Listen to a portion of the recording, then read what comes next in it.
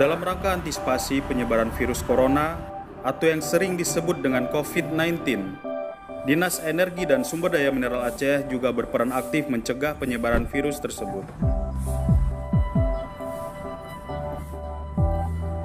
Bagi pegawai dan tamu yang datang, diwajibkan untuk mencuci tangan terlebih dahulu dengan menggunakan sabun antiseptik yang telah disediakan.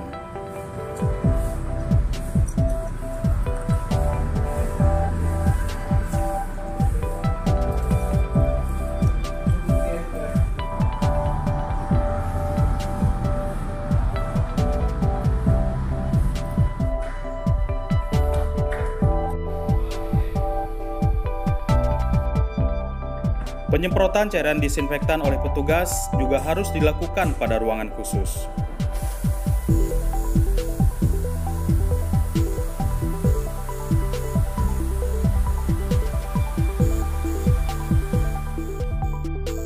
Dalam bekerja, interaksi dengan sesama pegawai juga dibatasi dengan saling menjaga jarak minimal 1 meter.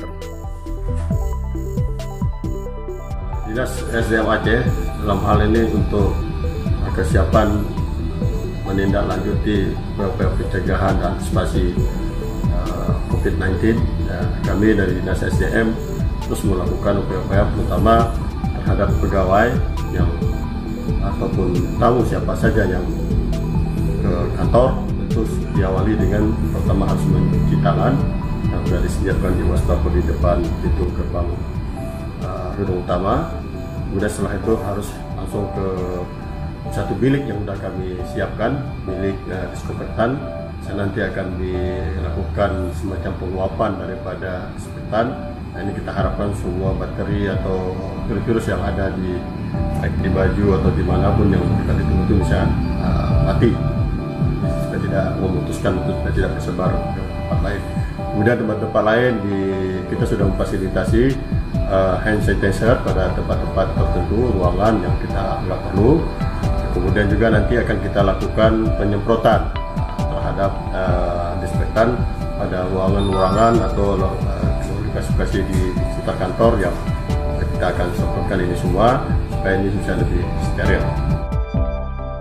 Ya, di samping itu juga Dinas SDM sesuai dengan arahan daripada Bapak Gubernur dan Bapak Sekda bahwa Eh, di, setiap dinas itu ada posko. Nah, kami telah menyiapkan satu ruangan posko di mana ruangan ini juga bisa digunakan untuk uh, teleconference uh, sebagai untuk melakukan pertemuan dengan yang hari ini sudah dibatasi.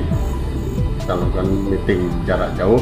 Dan kita ke depan supaya ini cepat berakhir dan mudah-mudahan kami dari Dinas Kesehatan Aceh semangat dan arahan daripada kebijakan Bapak Gubernur terus kita tidak lanjuti eh, ini dengan harapan mata rantai penyebaran daripada COVID-19 ini bisa segera berakhir. Ini harapan kita semua dan berdoa kepada Allah SWT supaya ada korban masyarakat Aceh dan masyarakat Indonesia segera berakhir harapan kita semua seperti ini.